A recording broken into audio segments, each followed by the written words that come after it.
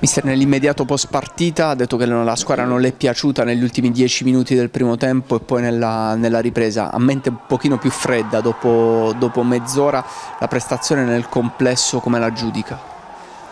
Come prima, io sono sempre lucido nell'analisi e, e, cerco di essere sempre lucido e spesso e volentieri mi riesce, quindi eh, la partita ha detto questo, per 30 minuti il Foggia è stato padrone assoluto del campo giocando bene Dopodiché negli ultimi 15 minuti siamo andati dietro a, a situazioni di, di, contrasto verbale, di, eh, di, specchiarsi un po' troppo e abbiamo dato mm, eh, linfa agli avversari. Poi siamo andati sul 2-0 con un gol straordinario, ma non meritato in quel momento per come avevamo finito il, il primo tempo e, e da lì poi c'è stato un blackout dal 2-0 al 2-1 dove la squadra veramente non ha più giocato, ha,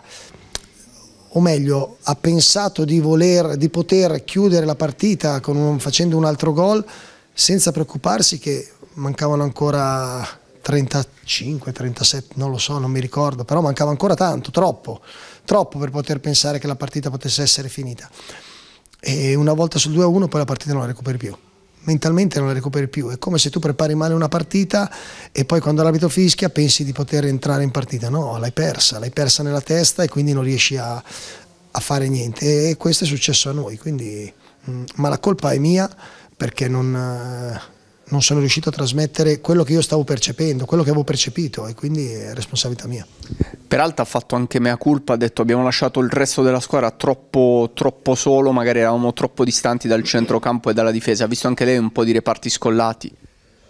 Eh, ma la, mm, quando tiri la coperta da una parte o dall'altra, la squadra oggi è stata troppo lunga per troppo tempo durante la partita